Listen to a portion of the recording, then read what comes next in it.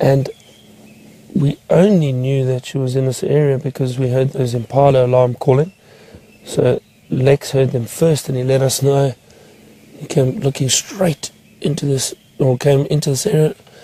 There is a cub I can see that is not far behind her, just hiding in the thicket. Might be able to see it shortly. There's a little bit of movement. There we go. Look at that, everybody. There's the one cub. Fantastic.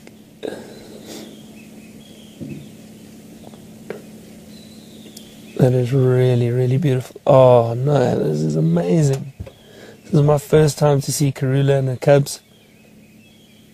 So excited.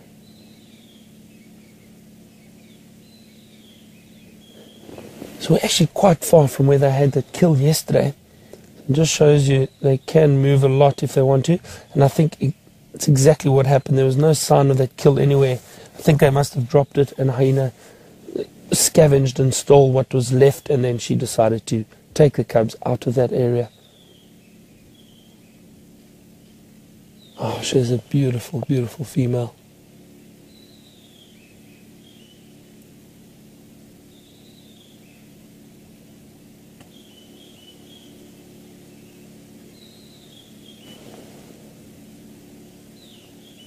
Oh, there's the other cub. Oh, fantastic, both of them. Right out there. That looks like a young male.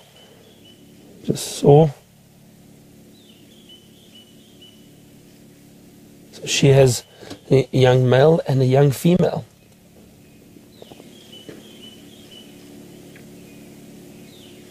Two very, very beautiful cubs.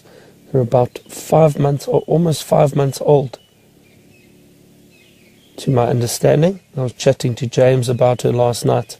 Beautiful 12, almost 13 year old leopard.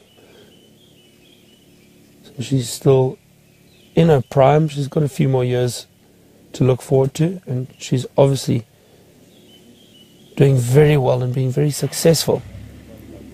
Having these two cubs, it's not always easy. Oh, look at that face. It's not easy to raise cubs for leopard.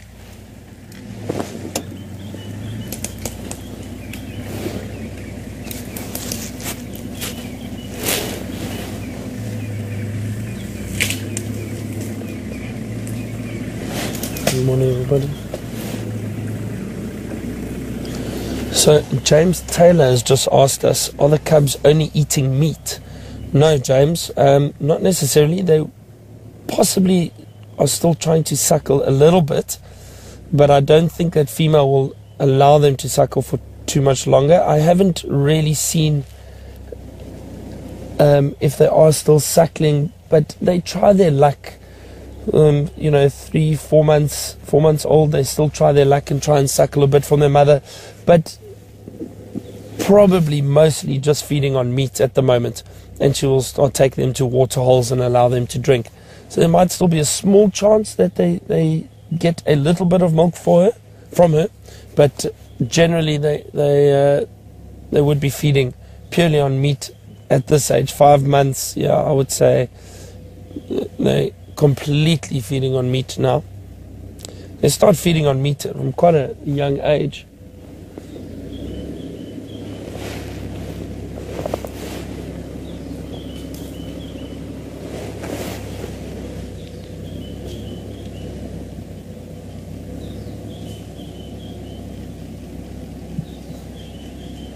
She gets. She may have heard something often what these leopards do is, especially now these early mornings, it's very, very cool.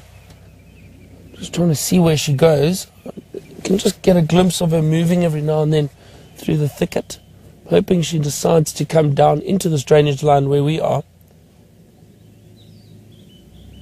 She may also just move along the edge of the bank. There's still the one cub.